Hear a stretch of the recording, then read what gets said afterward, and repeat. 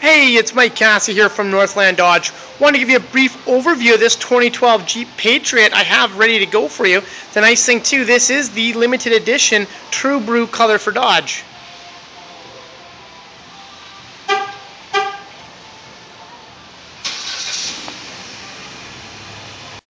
Now you can see from the last video there, you can see that it does have built-in remote start, also keyless entry. Not only that, power locks, power windows, and believe it or not, it does have heated seats for both passenger and driver. Very handy. Built-in air conditioning, CD player, and built-in auxiliary outlet. Not only that, down below on the shifter there, it is a full slapstick. Very impressive fit and finish on the outside. Not only that, it does have a very impressive fit and finish on the inside as well.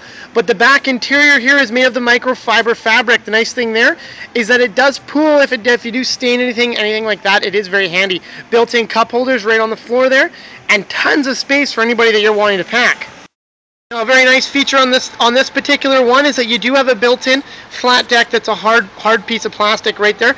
Not only that, the actual seats do fold down flat so you can see the full storage capacity that this vehicle carries. Very brief overview now just to go about the engine components there.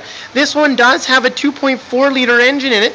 The nice thing there with that is it does give you unbelievable fuel economy with very impressive power. Not only that there, Dolly, this is a full four-wheel drive. Now, it does pop into the fly, so that's good up to any speed up to 88 kilometers an hour. With built-in fog lights down below, you can see the true potential in this vehicle.